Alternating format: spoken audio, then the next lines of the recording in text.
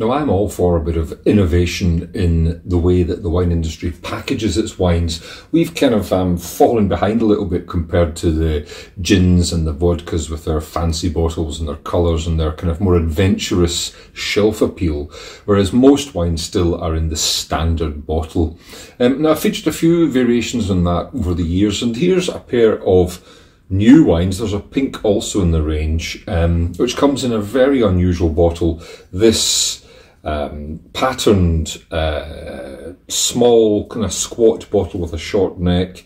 Looks um, very unlike uh, the standard wine bottle. Someone rather cruelly said it reminded them of Black Tower, which you may remember from the 70s. But um, pair of wines.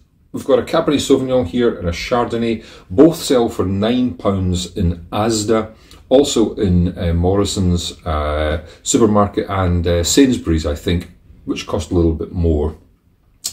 And the brand is Wise Wolf. The Wise Wolf Cabernet Sauvignon is what I'm going to concentrate on today. Um, 13.5% alcohol, uh, 2022 vintage.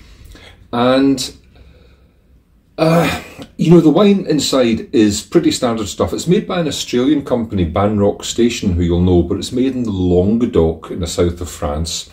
100% Cabernet Sauvignon. On the nose, lots of that kind of rich uh, black curranty fruit, a little bit of kind of slightly baked plummy fruit in there too uh, on the palate. Or kind of thick, sweet, very smooth fruit, and quite a good barbecue wine, I'd say.